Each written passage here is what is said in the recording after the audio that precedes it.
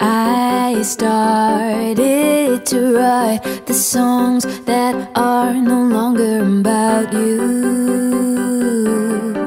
Yeah, yeah. I started.